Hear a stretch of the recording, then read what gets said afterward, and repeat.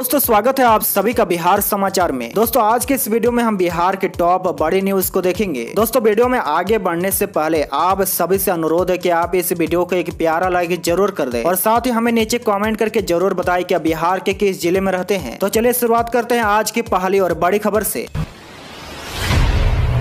आज की पहली खबर में देखे देश में जारी रहेगा 10 प्रतिशत एडब्ल्यूएस आरक्षण। फैसले पर सुप्रीम कोर्ट की मुहर। जी देखिए, सुप्रीम कोर्ट के चीफ जस्टिस यू ललित की अध्यक्षता में सोमवार को पाँच सदस्य बेंच की तरफ़ से आर्थिक रूप से कमज़ोर वर्ग, यानी कि एडब्ल्यूएस के लिए 10 प्रतिशत आरक्षण की व्यवस्था पर फैसला सुनाया गया। जिसमें देखिए, पाँच जजों में से चार जजों ने आर्थिक आधार पर आरक्षण का समर्थन किया है। जिसके बाद देश की सबसे बड़ी अदालत, यानी कि सुप्रीम कोर्ट ने आर्थिक रूप से कमज़ोर वर्ग, यानी कि ए को दस आरक्षण दिए जाने के फैसले को हरी झंडी दे दी है। वहीं देखिए, इस पाँच सदस्य बेंच में जस्टिस दिनेश महेश्वरी एस रविंद्र भट्ट, बेला एवं त्रिवेदी एवं जेबा पाड़ीवाला शामिल थे। वहीं इसको लेकर जस्टिस महेश्वरी ने कहा कि आर्थिक आरक्षण संविधान के मौलिक ढांचे के खिलाफ नहीं है। वहीं उन्होंने आगे कहा कि एक संशोधन वैध है। जस्टिस बेला त्रिवेदी ने भी इस फैसले पर सहमति जताई है।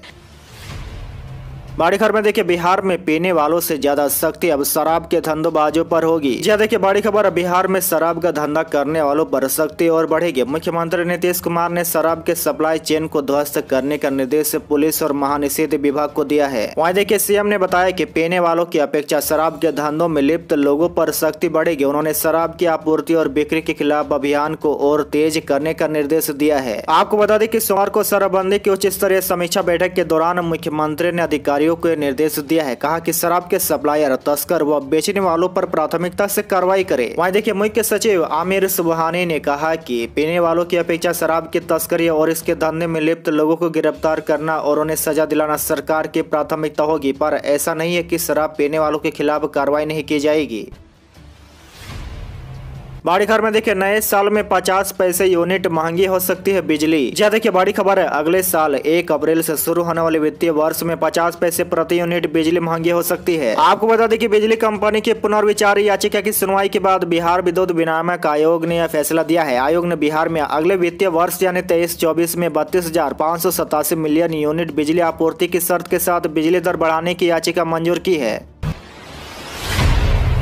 पहली खबर में देखिए, बिहार में अचानक बड़ी ठंड। पटना समेत अन्य जिलों में दो डिग्री सेल्सियस तक गिरा न्यूनतम तापमान। जी हाँ देखिए, बिहार में अचानक ठंड बढ़ गई है। राजधानी पटना समेत राज्य के अधिकतर हिस्सों में न्यूनतम तापमान तेज़ी से गिर गया है। पश्चिमी विक्षोभ का प्रभाव कम होते ही पूरे बिहार में मौसम साफ़ हुआ है। वही देखिए, साथ ही उत्तरी पछुआ हवा का प्रभाव बढ़ने से ठंड में बढ़ोतरी हुई है। मौसम विभाग के पूर्वानुमान के मुताबिक सप्ताह तक राज्य में ठंड का असर और बढ़ने के आसार है। वही देखिए, मौसम विज्ञान केंद्र पटना के मुताबिक, पटना के न्यूनतम न्यूनतम तापमान में दो दशमलव चार डिग्री सेल्सियस की गिरावट हुई है। और देखिए पिछले 24 घंटे में पटना का न्यूनतम तापमान सत्रह दशमलव छह डिग्री सेल्सियस दर्ज किया गया। इस सीज़न में पहली बार इस स्तर पर तापमान नीचे आया है। राज्य भर में गया सबसे कम तापमान दर्ज किया गया है। यहाँ न्यूनतम पारा एक दशमलव तीन डिग्री की गिरावट के साथ ही चौदह दशमलव दो डिग्री सेल्सियस रिकॉर्ड किया गया।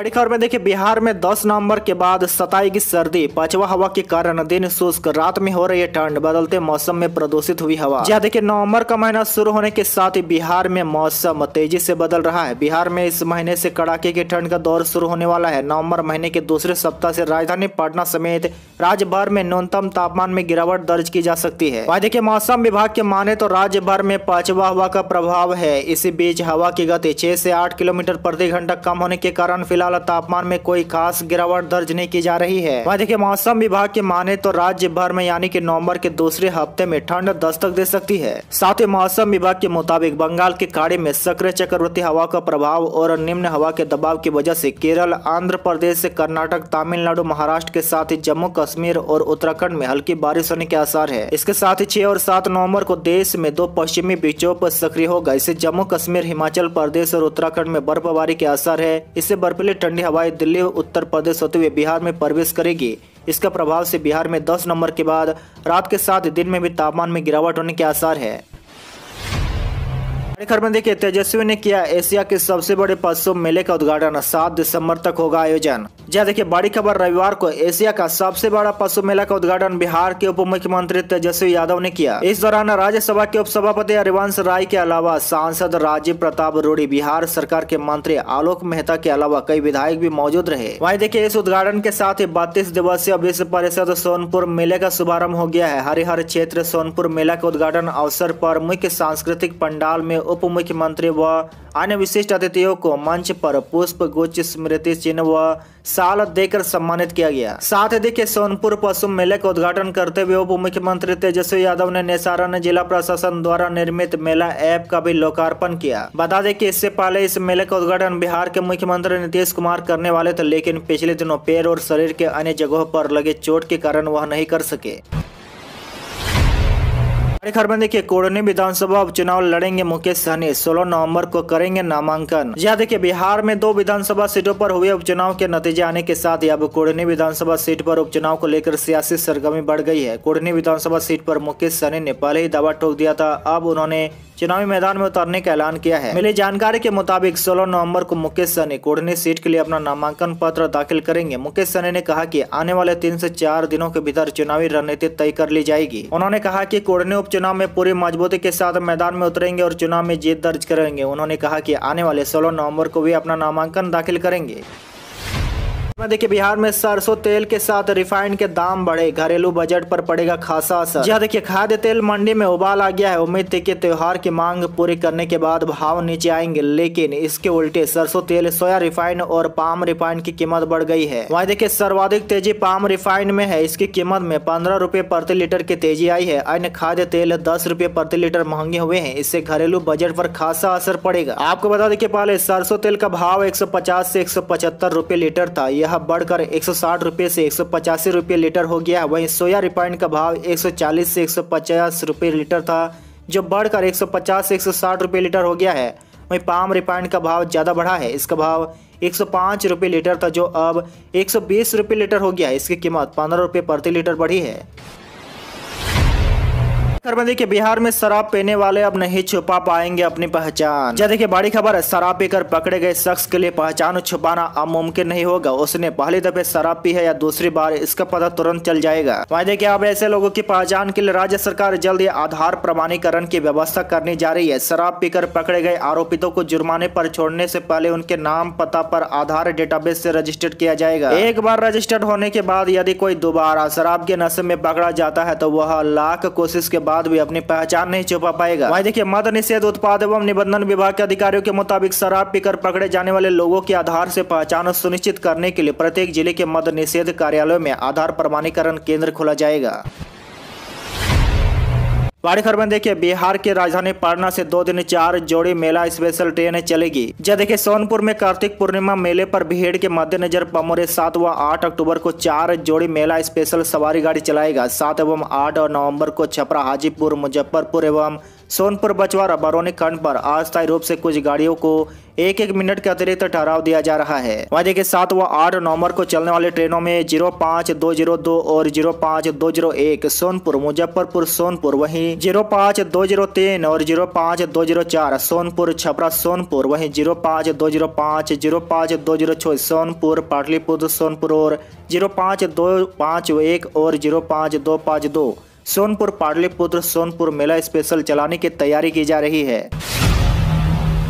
खबर देखिए राज्य में मुख्यमंत्री कन्या उत्थान योजना से डेढ़ करोड़ कन्याएँ लाभान्वित होगी। जहाँ देखिए इस वर्ष राज्य के करीब डेढ़ करोड़ कन्याएँ मुख्यमंत्री कन्या उत्थान योजना का लाभ उठा पाएगी। वहाँ देखिए योजना को तेज कन्या भ्रूण हत्या रोकना, बालिका शिशु मृत्यु दर कम करना, बाल विवाह पर अंकुश लगाना, जन निबंधन कन्या के जन्म को प्रोत्साहित करना, लड़कियों के जीवन स्तर को ऊँचा उठाना और महिला सशक्तिकरण को बढ़ावा देना है। वहाँ देखिए जानकारी के अनुसार मुख्यमंत्री कन्या उत्थान योजना के अंदर अधिक से अधिक लाभुकों को पंजीकृत कराने के लिए प्रत्येक दूसरे और चौथे शनिवार को आंगनबाड़ी केंद्र परियोजना स्तर पर विशेष कैंप का आयोजन किया जा रहा है। वहीं आपको बता दें कि मुख्यमंत्री कन्या उत्थान योजना के तहत कन्या के जन्म पर दो हज़ार रूपए कन्या के शिशु के एक वर्ष होने पर एक हज़ार रूपए कन्या के दो वर्ष पूरा होने पर पूर्ण टीकाकरण कराने के उपरांत वही कन्या के शिक्षा हेतु पोशाक के लिए प्रति वर्ष छह सौ रूपए कक्षा एक से दो, वही कक्षा तीन से पाँच तक प्रति वर्ष पोशाक हेतु सात सौ रूपए कक्षा छह से आठ तक प्रति वर्ष पोशाक के लिए हज़ार रूपए वही कक्षा नौ से बारह तक प्रति वर्ष पोशाक हेतु पंद्रह सौ रुपये अविवाहित कन्या के इंटरमीडिएट पास करने पर पच्चीस हज़ार। व स्नातक होने पर पचास हज़ार तथा कक्षा सात से बारह तक प्रति वर्ष किशोरी स्वास्थ्य योजना के अंतर्गत तीन सौ देने का प्रावधान है। में देखिए, बिहार ने ठंड ने दस्तक दे दी है। गिरने लगा है तापमान। ग्रामीण इलाकों में छा रहा है कोहरा। बेगूसराय और पूर्वी चंपारण सबसे ज़्यादा गर्म। जी देखिए, बिहार में मौसम में लगातार बदलाव जारी है। ग्रामीण और नदी से सटे इलाकों में धुंध और कोहरे की स्थिति अब बनने लगी है। वही देखिए, मौसम विभाग की माने तो बिहार में अभी पचवा हवा की वजह से सुबह और शाम में हल्की ठंडी का एहसास हो रहा है। वही ग्रामीण इलाकों में लोग पूरी तरीके से गर्म कपड़े का प्रयोग करना शुरू कर चुके हैं। वही देखिए, मौसम विभाग के अनुसार पूरे बिहार में ठंड की स्थिति दिन प्रतिदिन बढ़ती ही जा रही है। ग्रामीण और नदी से सटे इलाके सबसे ज़्यादा प्रभावित होंगे। वजह के मौसम में बढ़ रही ठंड को लेकर डॉक्टरों ने बच्चों और बुज़ुर्गों को सावधान रहने की सलाह दी है। डॉक्टर के मुताबिक मौसम में हो रहे बदलाव से सावधान रहने की ज़रूरत है। में देखिए, बिहार पुलिस में 16 नवंबर को बहाल होंगे दस हज़ार चार सौ उनसठ नए पुलिसकर्मी सीएम नीतीश कुमार देंगे नियुक्ति पत्र। जी देखिए, बड़ी खबर बिहार पुलिस में बहाल हुए दस हज़ार चार सौ उनसठ नए पुलिसकर्मियों को नियुक्ति पत्र मिल जाएगा। राज्य के मुख्यमंत्री नीतीश कुमार पटना के ऐतिहासिक गांधी मैदान में आयोजित एक कार्यक्रम में सभी सफल पुलिस कर्मियों को अपने हाथों से नियुक्ति पत्र सौंपेंगे। वहीं देखिए सीएम द्वारा नियुक्ति पत्र पाने वालों में 8,246 सिपाही एवं 2213 अवर निरीक्षक शामिल होंगे। इस बात की जानकारी बिहार के पुलिस मुख्यालय ने दी है। बिहार पुलिस के मुख्यालय द्वारा बताया गया कि पटना के गांधी मैदान में नियुक्ति पत्र वितरित करने के लिए एक कार्यक्रम का आयोजन प्रस्तावित है जो की सोलह नवंबर को नियुक्ति पत्र वितरित किया जाएगा। कार्यक्रम में देखिए, बिहार के स्कूली विद्यार्थियों के खाते में 15 नवंबर तक पहुँचेंगे छात्रवृत्ति व अन्य योजनाओं के 5000 करोड़ रुपए। जी देखिए, बिहार के सरकारी स्कूलों में पढ़ने वाले विद्यार्थियों को राज्य सरकार द्वारा संचालित विभिन्न लाभों की योजनाओं की राशि इस माह की पंद्रह तारीख तक डीबीटी के माध्यम से खातों में भेजी जाएगी। शिक्षा विभाग का डीबीटी कोषांग इसकी तैयारियों को अंतिम रूप दे रहा है। संभव है की पंद्रह नवंबर को समारोह पूर्वक पचहत्तर फ़ीसदी हाजिरी की अनिवार्यता पूरी करने वाले लाखों बच्चों के खाते में विभिन्न योजनाओं की तकरीबन पाँच हज़ार करोड़ की राशि भेजी जाएगी। आपको बता दें कि नौवीं कक्षा में पढ़ने वाले छात्र छात्राओं को इस शैक्षणिक सत्र में मुख्यमंत्री साइकिल योजना की राशि नहीं मिल पाई है। साइकिल के साथ ही पोशाक, छात्रवृत्ति व प्रोत्साहन योजना तथा किशोरी स्वास्थ्य योजना की राशि से स्कूली विद्यार्थी अब तक वंचित है। अब जाकर करीब पाँच हज़ार करोड़ रुपए लाभुक योजनाओं के मद में छात्र छात्राओं को देने पर वित्त विभाग की मोहर के बाद शिक्षा विभाग बच्चों तक पहुँचाने में जुट गया है।